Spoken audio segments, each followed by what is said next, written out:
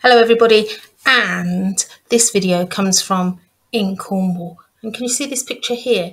I was near a village where they were talking about a bypass that should go through the village. So today, day six of our reading, we're going to have a look at reading some reasons for or against why a bypass might be needed.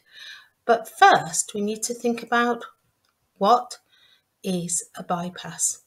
So there are two or three reasons. We're going to be using the first reason, a route that goes around a city or other congested area. So we find this in Doncaster villages and other areas where there's lots of traffic going through a village. It's decided that perhaps there should be a road made around that village, a bypass. So what could be the reasons for or against a bypass? Let's read. Well, first of all, the main road running through the village means it has a big traffic problem. A bypass is planned and some people are pleased, some are not. So let's see what the farmer would say. The farmer might say, I'm not very happy about the bypass because it means I'll lose farmland. The person who lives on the main road might say, I live on the main road, so pollution is awful. I'm all for the bypass. But what about other people?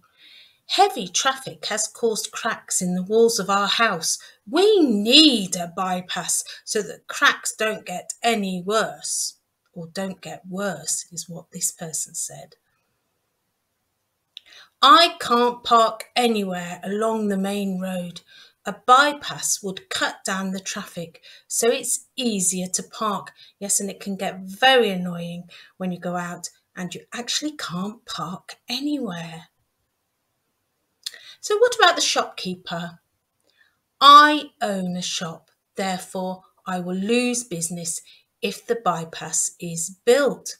Hmm, I never thought of that. It's a good reason. Oh, what about the doctor? There are too many crashes in the village. Drivers get impatient because the roads are so full of traffic. We need a bypass to stop all these accidents. And somebody's view might be, we'll fight the bypass because this area is rich in wildlife. It has one of the few woodlands left and we do often argue that we shouldn't really be cutting down all the trees and removing areas for wildlife. But what about the principal or head of a school? Heavy traffic runs past my school. The children are therefore at risk when they cross the road.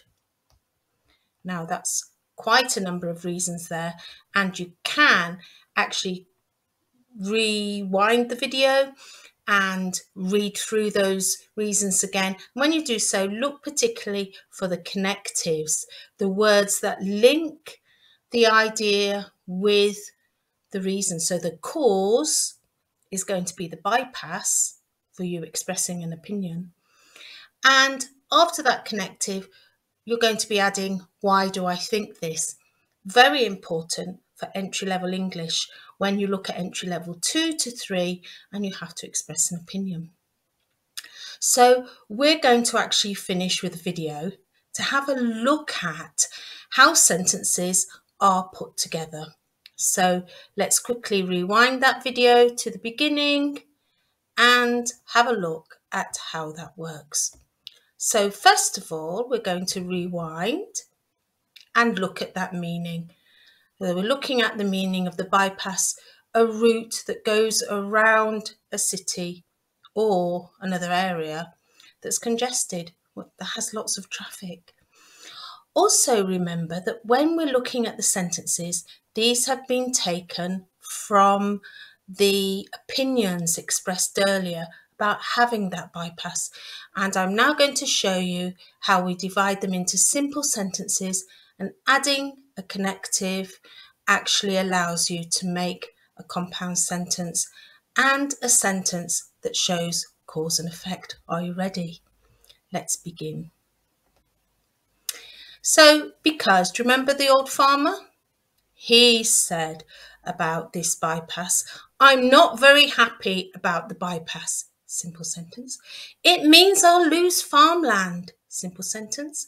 Use connective because, and he actually said, I'm not very happy about the bypass because it means I'll lose farmland. And what about the person living there? In the first simple sentence, I live on the main road. Pollution is awful. And put those two sentences together with the connective. So, I live on the main road, so pollution is awful. You might also say, therefore. I live on the main road, therefore pollution is awful. Here's the shopkeeper. I own a shop. And your second sentence, I will lose business if the bypass is built. And your connective, therefore, leads you to say, I own a shop. Therefore, I will lose business if the bypass is built. What about that family? Our houses will be knocked down. They're on the land needed to build the bypass. Use the connective as. Our houses will be knocked down as they are on the land needed to build the bypass. And you might have used because instead of as there.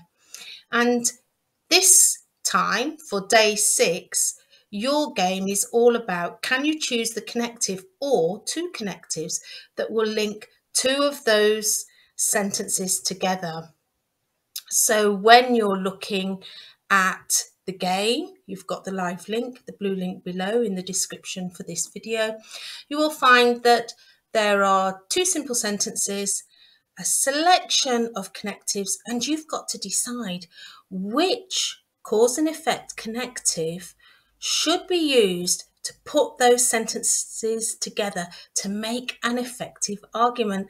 So good luck with that and I'll see you when we look at day seven. Bye now.